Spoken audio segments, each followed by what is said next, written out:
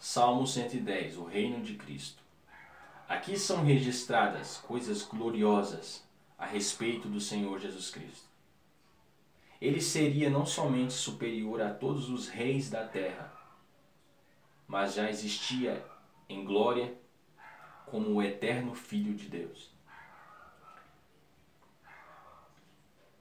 Ele está em uma posição de repouso, após os serviços e sofrimentos o Senhor Jesus repousou de todos os seus trabalhos. É uma posição de comando, visto que está sentado para legislar, julgar. É uma posição permanente. Assenta-se como rei para sempre.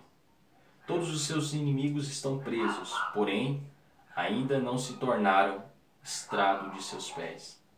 O seu reino, uma vez estabelecido, será mantido no mundo apesar de todas as potestades das trevas. O povo de Cristo é voluntário. O poder do Espírito Santo que vai com a palavra de Deus é eficaz para tornar o povo de Cristo voluntário.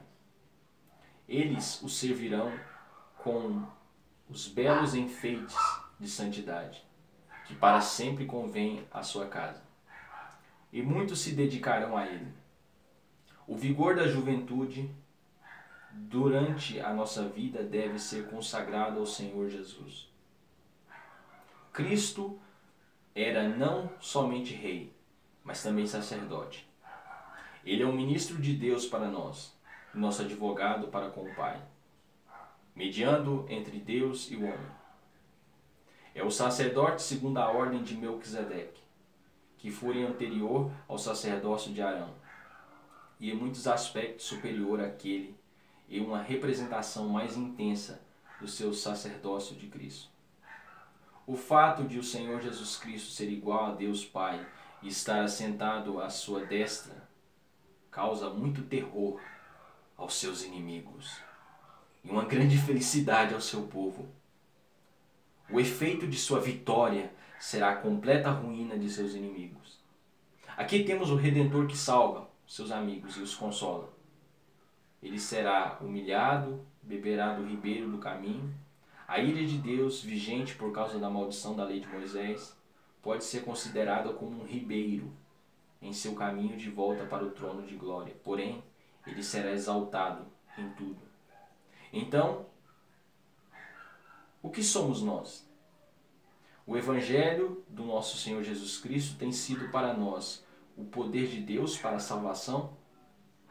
O seu reino tem sido estabelecido em nossos corações? Somos seus súditos voluntários? Antes, não conhecíamos a grande necessidade que temos de sua salvação e não estávamos dispostos a que ele reinasse sobre nós. Para recebê-lo como nosso rei, para recebê-lo como nosso rei, sacerdote e profeta, estamos dispostos a abandonar cada pecado e o mundo com seus laços e confiar somente nos méritos e na misericórdia dele? E desejamos e desejamos ser santos? O sacrifício, a intercessão e a bênção do Senhor pertencem aos que são transformados deste modo.